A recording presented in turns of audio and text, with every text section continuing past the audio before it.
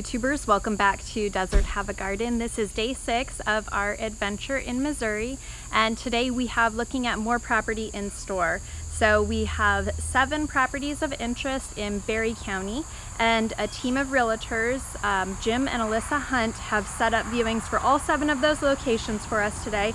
So we're gonna have a jam-packed day looking at those. One of them includes a Main Street business and it's a business residential combo and that's not really what we're looking for but here's the deal I've kind of had this dream of having a Main Street bakery and I know it sounds silly but we just have to check it out um, it's a really affordable price. We yesterday drove down the main street and it wasn't a depressed main street so there were still businesses in almost all of the shops and um, this is a really small community so would it support a business like that? Probably not, but because the price is so low, if we did something in conjunction where we were living on the property as well, it would totally balance out and make it worthwhile. But again, it's not the acreage we're looking for. We're considering doing some sort of a combo. Anyway, we, out of curiosity, want to check it out. Um, so that's on the agenda for today. So stay tuned. All right, here we are at the first house of the day, and the house is fine. Um, it would need some updating and stuff, but nothing big. It would definitely work for us. What it is missing that we would like is a basement. Um, there are some outbuildings that are great for storage shops and things like that. And the land is nice.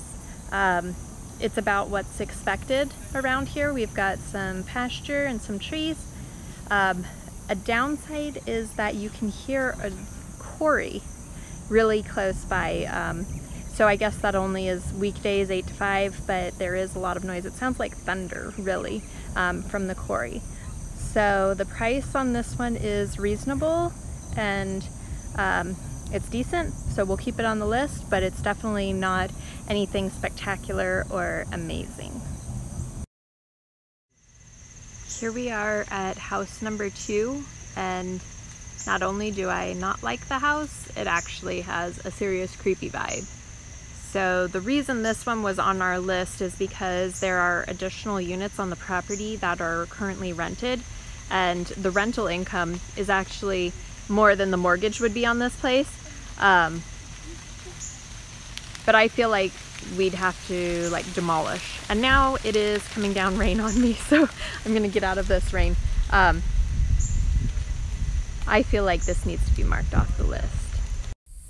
Little froggies jumping into the pond here at the third house of the day. Not sure if you just saw that guy jump in. They're peeping and jumping.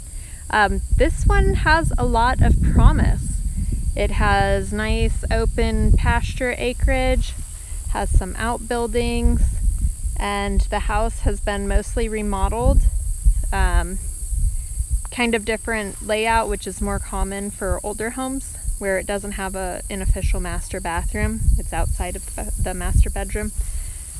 But overall, this one is looking pretty good. Though we think there was a squatter there who may have run out the basement door when we came in.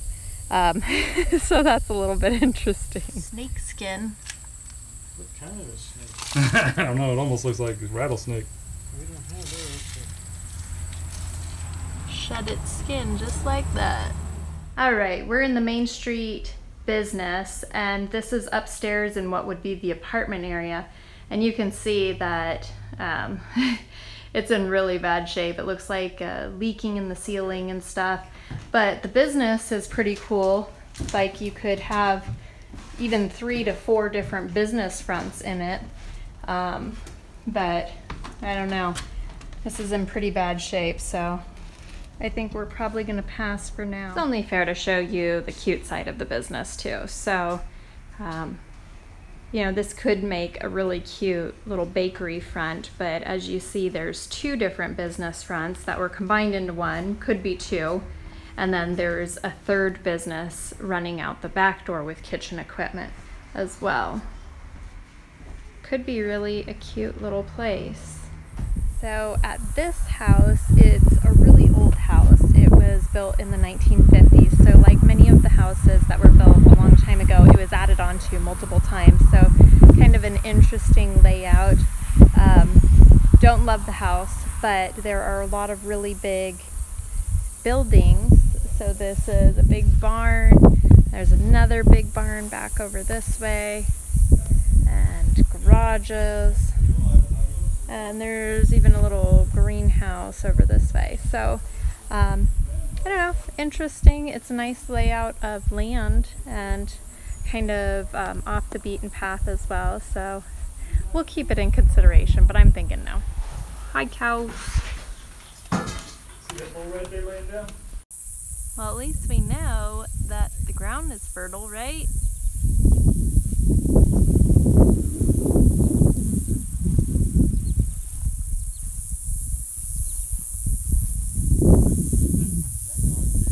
Surely those guys help out with the pollination.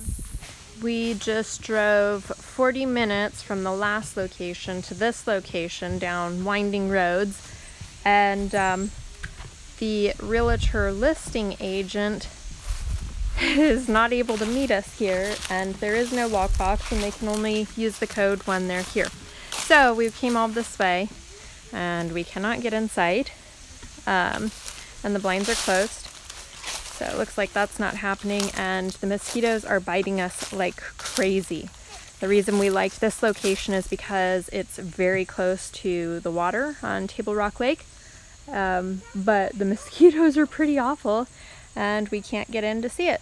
So I guess that's uh, as far as we go on house number six for the day. We have found ourselves in some serious backcountry stuff. We are looking for the seventh property of the day and we're getting uh, MapQuest didn't give us the right place and there's multiple farm roads of the same number and we got directions from a gentleman on the road and um, mm, this is like the makings of a horror film, but we're gonna keep trying to find it. The sun's setting and we're not lost. We know how to get back where we're going, so we're just gonna keep trying to find it. We found it.